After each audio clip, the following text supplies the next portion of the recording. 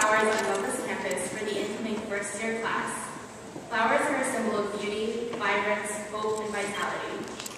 When we begin our first year in college, we approach everything with a sense of effervescence, vibrance, hope, and vitality. As we continue our education, we must not forget to carry on the traits in everything we do and in all situations we meet, both good and bad. By planting these flowers, we hope to inspire the first years, as well as our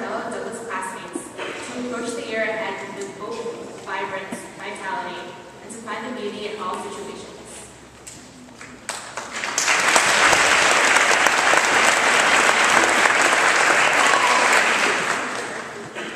Please welcome Dean Tanya Castaneda, Director of Recruitment and New Students.